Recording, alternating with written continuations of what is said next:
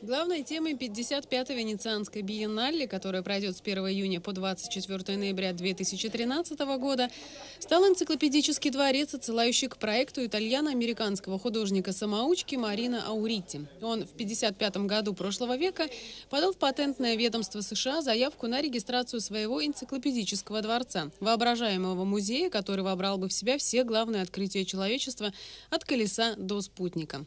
Его план так никогда и не был осуществлен, но эти эксцентричные мечты объединяют его с другими художниками, писателями, учеными, которые пробовали изобрести собственное видение Вселенной во множестве разнообразных вариантов. Молодой эстонский фотохудожник венгерского происхождения Денис Фаркас представит к 1 июня в Венеции свое видение этой темы выставкой «Evident in Advance». Это довольно сложная работа, которую мы в течение нескольких месяцев делали с другими художниками. У нас создалась международная команда, где представлены философ, лингвист, писатель, архитектор.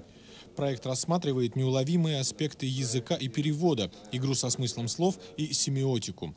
На самом деле это очень концептуальная работа, хранящая в себе множество сюрпризов, в том числе и для меня.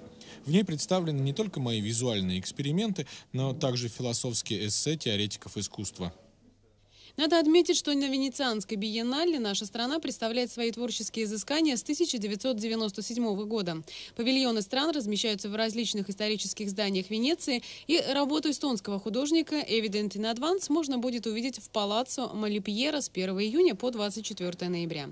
В ходе Венецианской биеннале вручаются призы наиболее заметным деятелям искусства, статуэтка Золотого Льва, но считается престижным удостоиться и почетного упоминания. И кто знает, возможно, в этом году Эстония войдет в каналы одной из самых масштабных арт-выставок, ведь в этот проект было вложено немало как творческих усилий, так и финансов из госбюджета.